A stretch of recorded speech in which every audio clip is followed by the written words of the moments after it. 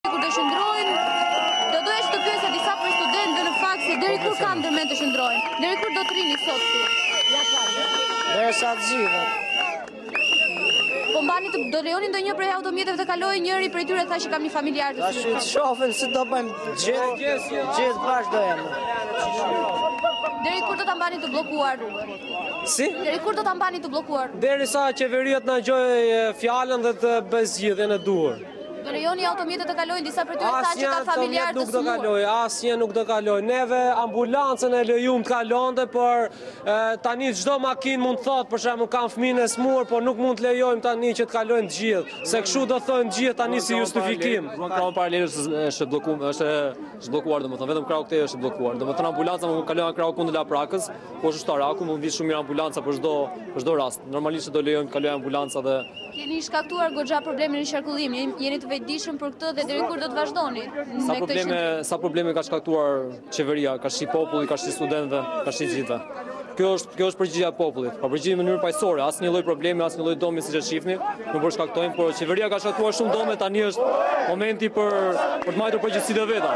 Shumë prej studentëve vendosën të qëndronin tek Ministria e Arsimit. është ishte një zgjidhje domethënë që të shpërndanim edhe që kemi mesazhin tonë. Ne sa jemi jemi jemi shumë edhe për kërkojmë vetëm drejtat tona, as asgjë më shumë. Dhe nëse mënyra për të arritur drejtat tona është për të bllokuar gjithë Tiranën, gjithë Shqipërinë, do e bëjmë. Çfarë do të ndodhë më pas? Më pas ne do vazhdojmë protestën. Vendosur të mbani këtë qëndrim. Derisa të jepet një vendim për kushtet që kemi vënë për qeverinë.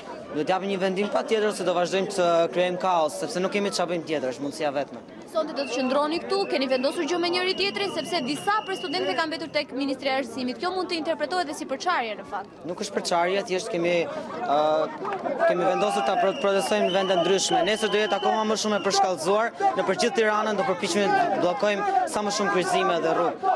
Që kemi diçka, një mundësi që të reagojnë, sepse nuk po reagojnë, janë shumë arrogantë gjithë qeveria.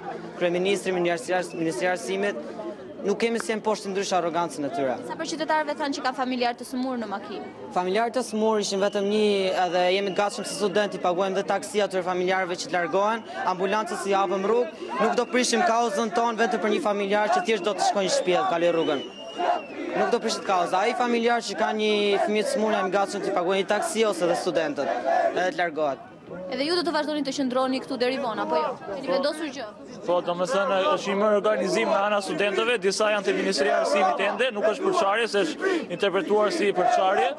Neve nuk kemi për qëllim as rrëzimin e qeverisë, as bllokimin e rrugëve për t'i bërë dëm edhe atyre që janë smur sepse kështu është konsideruar sikur neve duam të pengojmë edhe personat që po venë në spital, por ne faktikisht ia kemi hapur rrugën atyre. Kështu që do rrimë deri këtu derisa të plotësohen kërkesat.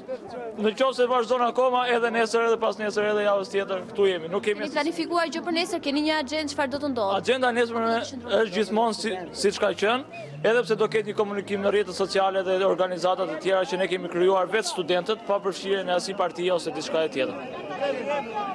Kjo është situata momentale.